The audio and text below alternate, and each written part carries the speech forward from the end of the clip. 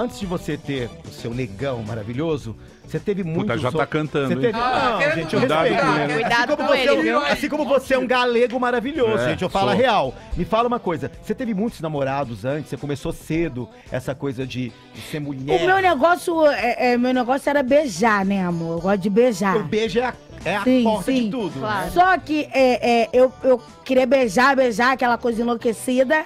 Mas na hora de, tipo, vamos ver, amor, que ó, eu se pava fora. Ah, eu já fiz muito isso. Eu tenho. Não, sabe por quê? Porque eu ficava naquela loucura, tipo assim.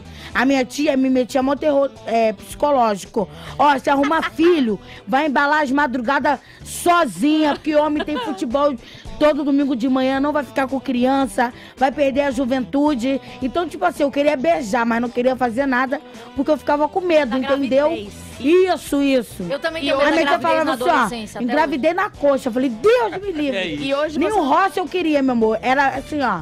Calça jeans distância. eterna. E hoje você Sim, pensa sim. em engravidar?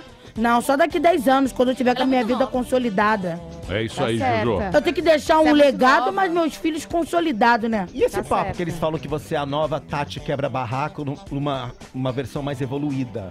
Olha, eu já me acho não Tati, mas Dercy Gonçalves. Maravilha. Numa nova era. De uma nova era. Era de aquário. Quer dizer, você é ambiciosa, você pretende permanecer por muito mais tempo. Eu então amo queremos- Dercy, sim, sim. Amo Dercy também. Era muito à frente ao tempo dela, né? Gente, eu, eu tenho a entrevista dela salva, que ela falou assim, o que, que você gosta de fazer? Dormir e cagar. Ela fala isso. Comer. Você nunca viu essa entrevista dela? Maravilhoso. Eu também. aguenta. A Hebe ficava passada com ela. Ela mostrava o peito na Hebe. Ficava de topless. A Dercy era Ah, deve maravilhosa. ser muito heavy metal. O de-